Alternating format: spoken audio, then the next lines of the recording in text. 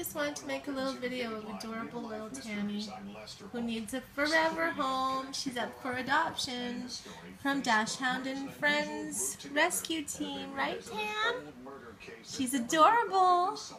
Don't let her fool you. She's not always this quiet. She's actually really, really playful, really fun, really sweet. I can't say playful enough. She's a very playful little girl. But she's very good at relaxing and cuddling and just hanging out and watch TV and, and all that too. So she's a really well balanced doggy.